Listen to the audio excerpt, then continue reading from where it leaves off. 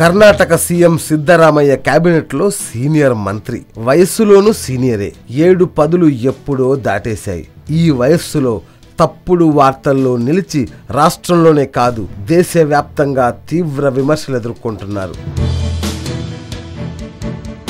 సిద్ధరామయ్య సర్కారుకు కొత్త తలనొప్పులు తెచ్చిపెట్టారు.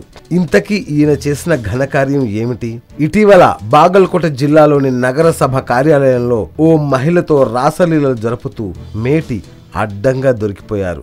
ఆయన శృంగార లీలలకు సంబంధించిన సీడీ బుధవారం పలు కన్నడ టీవీ ఛానల్లో ప్రసారమైంది.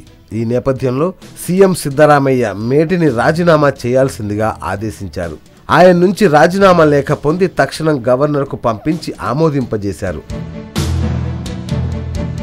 అటు కాంగ్రెస్ అధిష్టానం మంత్రి రాసలీల వ్యవహారాన్ని తీవ్రంగా పరిగణిస్తున్నట్లు సమాచారం. కర్ణాటకలో సంభవిస్తున్న విపరిణామాలు వచ్చే ఎన్నికల్లో కాంగ్రెస్ను నట్టేట ముంచేలా ఉన్నాయని ఏఐసిసి అధికార ప్రతినిధి ఒకరు బాహటంగానే వ్యాఖ్యానించారు.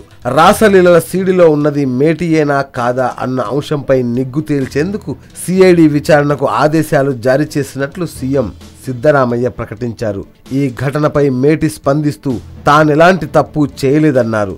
సీఎం ప్రతిష్టకు భంగం వాటిల్లొద్దనే ఉద్దేశంతోనే రాజీనామా చేశానని చెప్పారు. హెచ్వై మేటి ఓ మహిళతో తన కార్యాలయంలో రాసలీలలు జరిపారంటూ మూడు రోజుల క్రితం ఆర్టీఐ కార్యకర్త రాజశేఖర్ బాంబు పేల్చారు. ఈ సీడీ కథనం రెండు రోజులుగా రాష్ట్ర వ్యాప్తంగా తీవ్ర సంచలనం సృష్టించింది. దీనికి సంబంధించి వివరించేందుకు రాజశేఖర్ హోంమంత్రి పరమేశ్వర్ని కలిసేందుకు తీవ్రంగా ప్రయత్నించారు. అపాయింట్మెంట్ ఇవ్వకపోవడంతో నేరుగా ఢిల్లీకి వెళ్ళి అక్కడే సీడీని మీడియాకు విడుదల చేశారు యోయో న్యూస్ బెంగళూరు.